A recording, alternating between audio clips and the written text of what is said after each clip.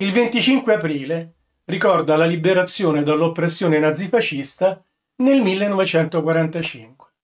È vero, gli italiani con l'indispensabile sostegno degli alleati anglo-americani divennero improvvisamente liberi. Ma davvero?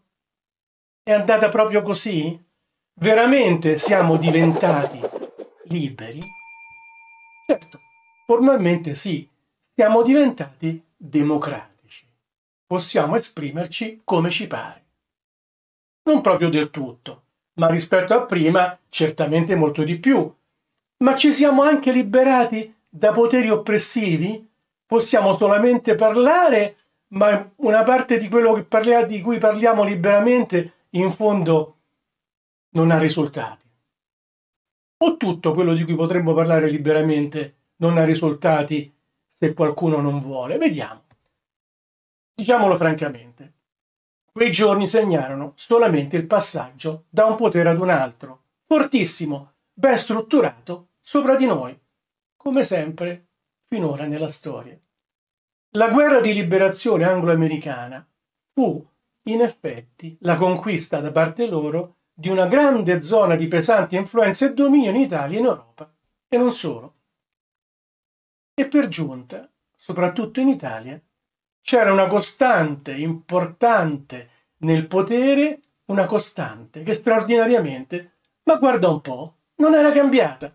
Qual è questa componente costante così importante da non essere travolta dalla guerra e dai cambi di potere così radicali? Ebbene, il Vaticano, la curia romana, quella curia che è erede della vecchia curia imperiale degli antichi romani, un potere bimillenario quella curia che era stata di supporto ed alleata dei regimi fascista e nazista o era tranquillamente passata ad essere di supporto ed alleata del potere atlantista anglo-americano. Importante prima nell'esercizio del potere in Italia, importantissima anche dopo, anche ora. Quindi possiamo dircelo, non ci hanno liberati, non ci siamo liberati, abbiamo solo e solo parzialmente cambiato padrone. E se ci riflettiamo bene, sia il potere nazifascista che quello angloamericano, che quello sovietico, molto importante in Italia per qualche decennio attraverso il Partito Comunista, facevano parte dello stesso gioco anticoscienza, tutti.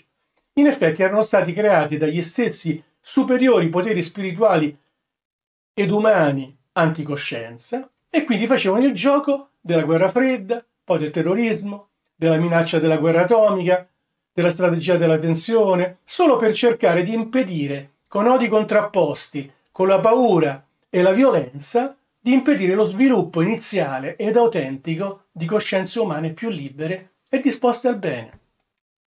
Uno sviluppo previsto ampiamente dalle correnti spirituali bianche proprio per gli anni a partire dagli ultimi decenni del secolo scorso, dagli anni 70-80, ma proprio perché le coscienze umane ed anche quelle italiane, proprio come reazione alle guerre, alle stragi della prima metà del secolo scorso perpetrate da nazisti, fascisti e stalinisti, si erano finalmente risvegliate ad una maggiore voglia di bene, proprio per questo, avendo di fronte gente più sveglia, dalle dittature occorreva passare ad un sistema più raffinato di controllo, che almeno apparentemente andasse incontro a queste coscienze in risveglio.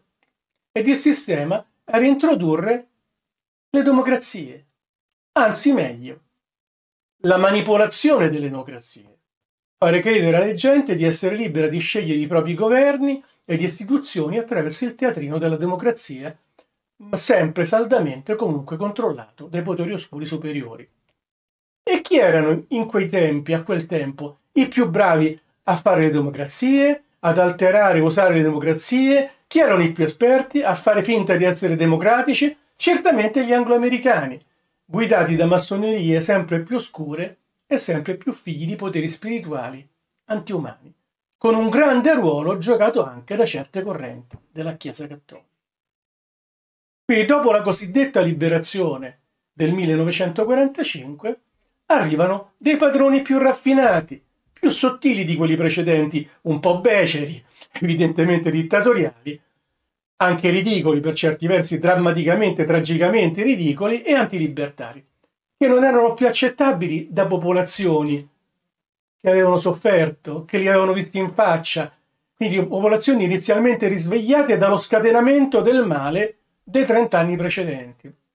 E quindi da quel 25 aprile, un po' alla volta, potemmo dirsi, dirci certamente liberi di esprimerci quasi completamente, di fondare movimenti politici, partiti, di intraprendere, ma poi noi popoli in effetti contavamo veramente qualcosa. Eravamo veramente noi a guidare la società verso il bene, verso il rispetto dei diritti, verso una rete sociale d'amore e supporto reciproco nella vita, una rete che alimentasse la maturazione delle individualità e delle coscienze della stessa rete? No, non eravamo noi. Proprio no. Non lo eravamo allora, non lo siamo stati dopo e non lo siamo certamente adesso.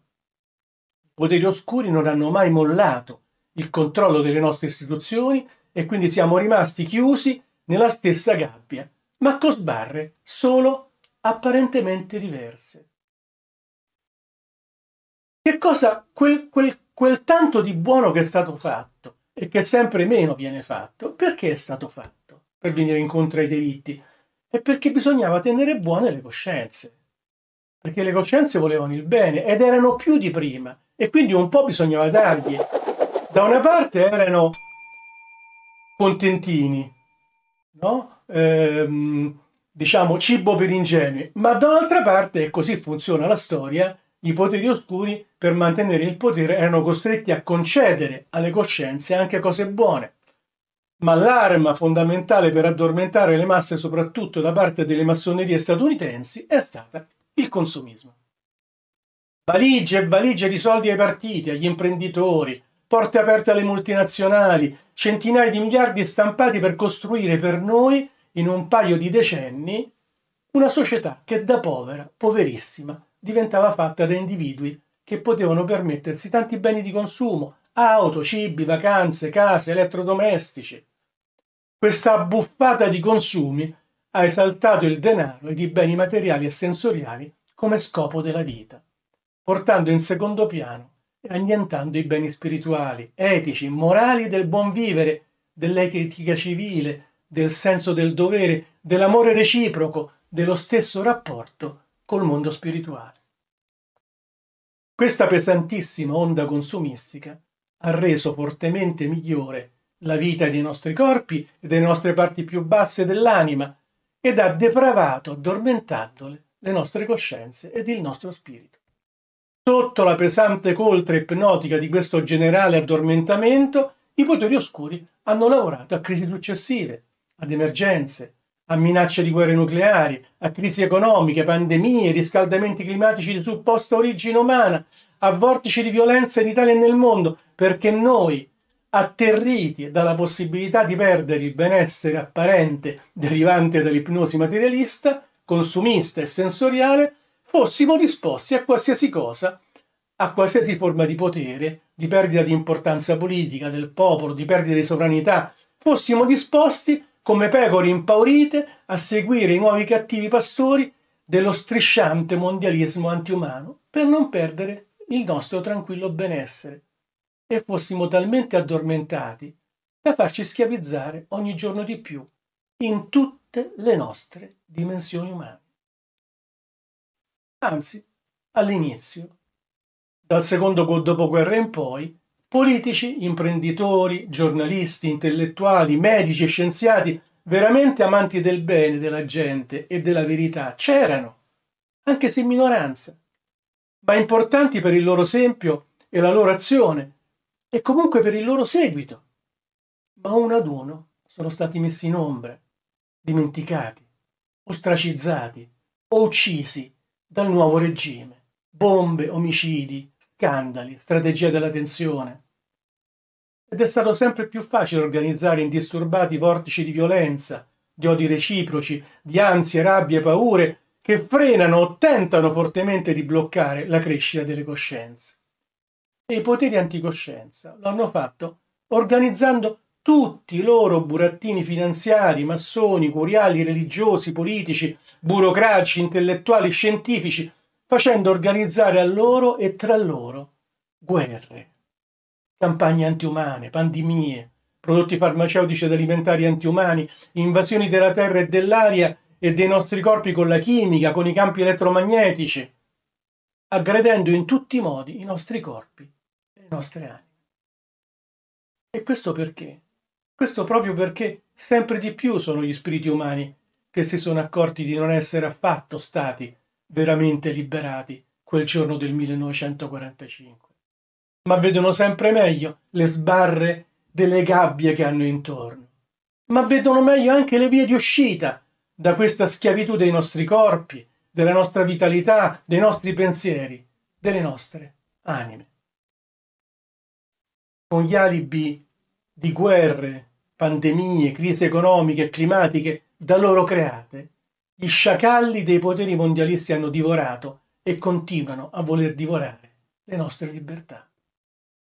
Le crisi, i nuovi impulsi culturali scientifici generalizzati, le nuove parole d'ordine usate dai nuovi nazisti dei poteri mondialisti servono a controllarci meglio, per imporci più facilmente farmaci, vaccini, campi elettromagnetici, un ulteriore indebolimento dei nostri sistemi immunitari e della nostra psiche, una cultura devastante, antiumana, forme d'arte orribili, confusione in quello che è un essere umano, per renderci sempre più simili a degli automi facilmente manipolabili, sempre più meccanizzati, sempre più elettrificati.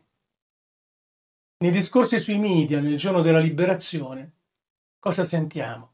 Sentiamo parlare quasi solamente falsi resistenti, che non resistono affatto a questa aggressione. Fantasmi al servizio del potere, ipocriti in giacche e cravatta rivestiti di cariche importanti in nome di un popolo che in maggioranza si fa ancora prendere in giro da antichissimi poteri nascosti dietro nuove facce di bronzo.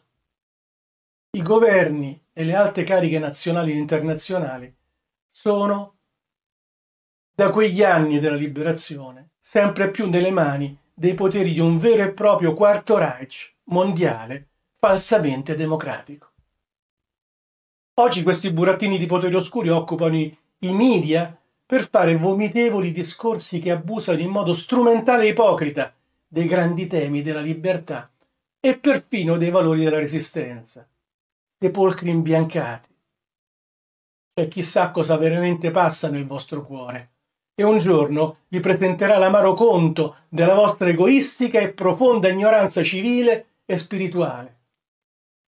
A noi non spetta, non spetta a noi presentarvi il conto. Quello è un fatto interiore che il futuro non casualmente certamente vi porterà incontro.